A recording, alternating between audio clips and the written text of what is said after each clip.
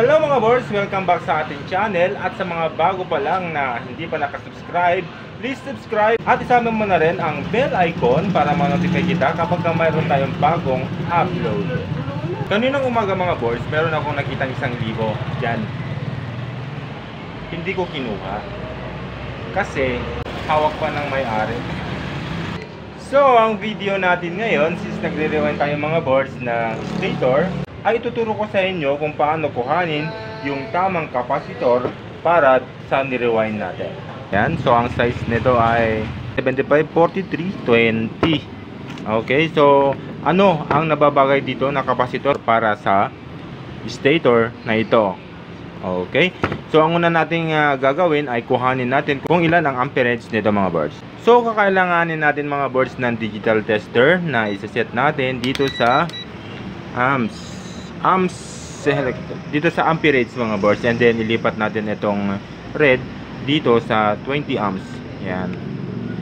So ganyan mga boards so ang kakailangan so ang gagawin natin ay isi-series natin itong uh, yung common.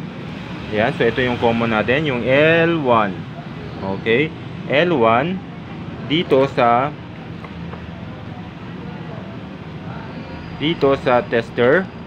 Okay? L1 okay lang magbaliktad yan mga boards kasi nga AC naman yung sinusukat natin. And then yung yung isa ay papunta ito doon sa saksakan. Na ikakabit natin or ikokonekta natin dito sa number 3 okay dito sa number 3 tatlong guhit yan so ito yung number 3 natin. Dito okay. So number 3 yan mga boards ha.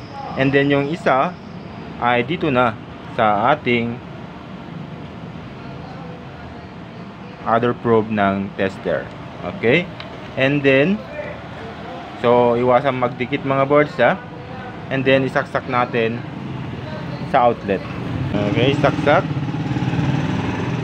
Okay, nakita nyo dito mga boards na point uh, 27.28 amps na yan mga boards ha 0.27 26 Okay? So, 0.26 na tayo. Okay, 0.26 mga bars yung ating na-read na amperage ng ating stator. Okay, 0.26. Okay mga bars, so makukuha natin yung ating uh, value ng capacitor sa pamamagitan ng formula na ito. So yung W natin mga bars ay watts yan or yung wattage ng stator. Okay, and then yung E, yan yung efficiency ng uh, stator. Kapag ka malalaki, ayan, mas mataas yung, yung efficiency nun. And then yung mga maliliit na electric van ay mas mababa ang kanyang efficiency. So yung efficiency ng electric van ay nasa 75 hanggang 80. Kaya gagamitin natin yung 80 and then itong given na 1,000 na ito. Huwag nyo nang tanungin kung nasaan yan, kung saan yan nabibili. Hindi ko alam mga boards. Basta given na yan. And then itong V square voltage yan, yung voltage natin dito sa Pilipinas ay 220. Uh, pero pero minsan mga boards ay tumataas yan yung mga voltage natin. Nagiging 224 ganyan. So gagamitin natin na voltage dito sa computation natin ay 230, 230 volts. And then times the frequency, yung frequency ng electric natin dito ay 60 Hz. Okay? So ito na yung, so ito na mga boards yung ating computation. Okay mga board, so ito na yung ating computation. Yan, so kita nyo na na 1.5 yung ating answer. Pero paano naging 1.5 yan? Dito muna tayo sa wattage. So yung na-read natin kanina mga boards ay amps pa lang yun.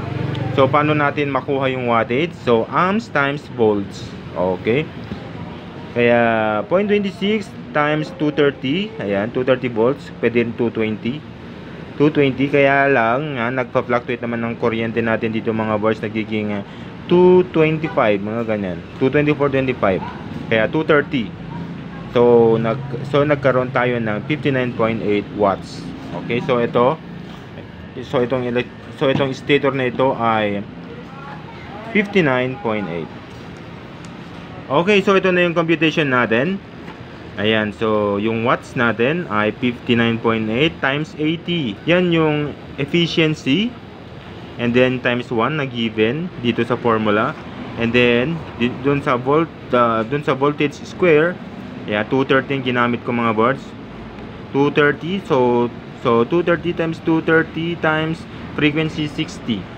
Ayan, so uh, magiging ganyan 4 million na 7 blah blah blah and then i-divide mo sa sa ganyan mga boys. So kapag ka times mo yan lahat na magiging ganyan yung ating sagot. And then i-divide natin. So 1 points. Okay, so simple lang mga boards. Meron pang isa mga boards na computation na ipapakita ko sa inyo kung paano makukuha ang ng mabilisan yung ating value ng capacitor. Okay, yung another way mga boards na, nakita, na nakita ko lang din sa YouTube. Ayan, 0.26 yung reading natin kanina. Times 2 652 equals and then i-divide natin sa 450 na mali. 450 volts na voltage ng capacitor equals 1.532 so mabilis. Hindi ka na magko-compute ng million-million yung sinasabi kong voltage ng capacitor mga boards ay ito yon ayan 450 volts. Ayan yung uh, voltage rating ng capacitor yun yung i-divide mo para makuha mo yung capacitor value.